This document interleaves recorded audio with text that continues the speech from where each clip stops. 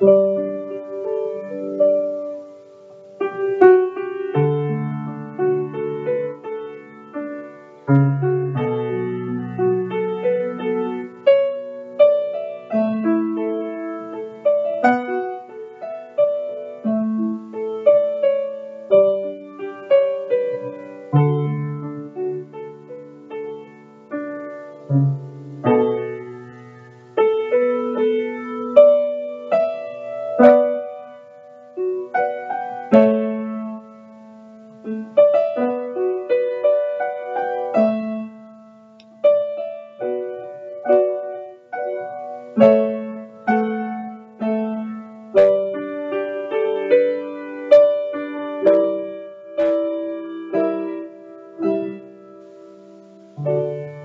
the Gospel of Luke, from the 23rd chapter.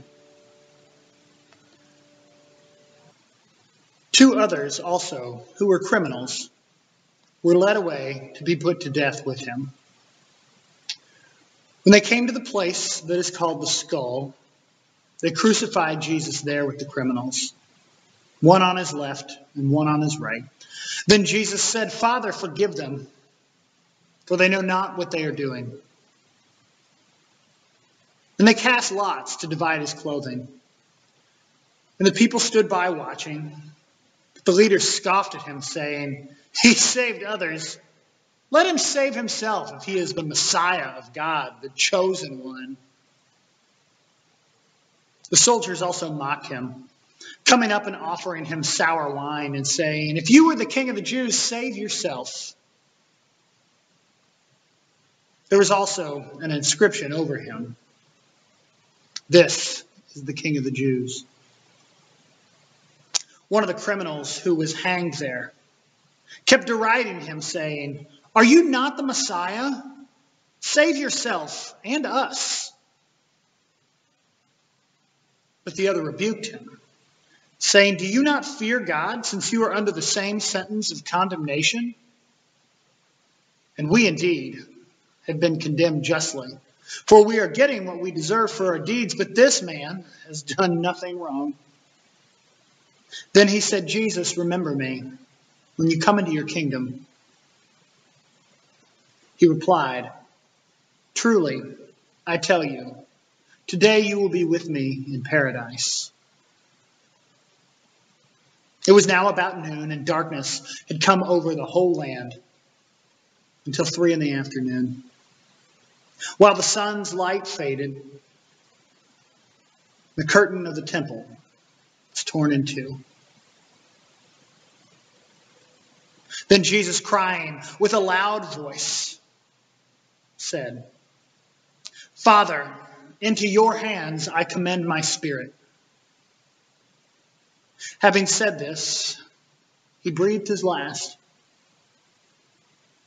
When the centurion saw what had taken place, he praised God and said, Certainly this man was innocent. And when all the crowds who had gathered there for this spectacle saw what had taken place, they returned home, beating their breasts. But all his acquaintances, including the women who had followed him from Galilee, stood at a distance, watching these things. Watching these things. Don't look away. Don't look away. I know it's tempting and I know that it's easy, but don't. On this day of crucifixion, fix your gaze today on the humbling truth of the death of Jesus. I often hear people talk about their discomfort with Good Friday. Some people say, I don't care too much for it, or I don't really do Good Friday, as though we somehow get a choice to ignore it. We follow a Savior whose ministry was at odds with the political and religious power structure. We follow a Savior whose ministry is probably still at odds with the religious and political power structure. His proclamation of God's kingdom come to earth came with the cost of his earthly human life. The degree to which Jesus was committed to this message of God who is at hand. This commitment is made manifest in the offering of his own life rather than backing away. The death of Jesus is the, the direct result of human sin and the systems that breed it. The crucifixion illustrates the ultimate sacrifice and calls us to humility.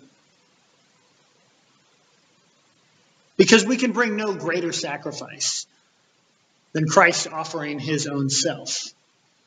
Instead, we bring our hearts, we bring our lives, and we come forward to accept the mercy of God Jesus came to reveal. Don't look away.